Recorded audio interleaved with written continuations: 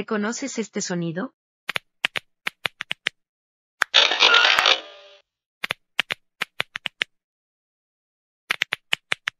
Si revienta o rompe sus articulaciones, probablemente lo haga.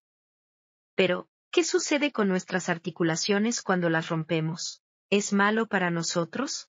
El líquido sinovial es una sustancia similar a un lubricante que se encuentra entre las articulaciones, y se asemeja a una yema de huevo.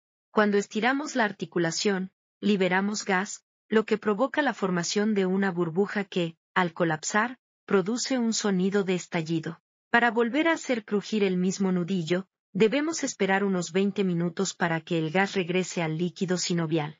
Pero, ¿Cómo se diferencia esto del chasquido que escuchamos cuando nos ponemos de pie rápidamente? El sonido que probablemente escuchemos entonces es el resultado del deslizamiento de los tendones entre los músculos o sobre los huesos. ¿Es seguro el hábito de crujir los nudillos?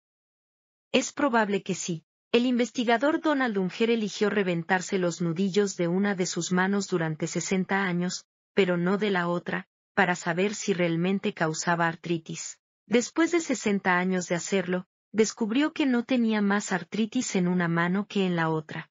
Sin embargo, existe la posibilidad de que crujir los nudillos no sea bueno para nosotros. Un estudio de 1990 encontró que hacerlo durante un largo periodo de tiempo provocaba hinchazón en las manos y una disminución de la fuerza de agarre, pero no ha habido ninguna investigación de seguimiento al respecto. En resumen, aunque crujir los nudillos puede no ser perjudicial para nuestra salud, aún no hay garantía de que nuestro hábito no moleste a las personas que nos rodean.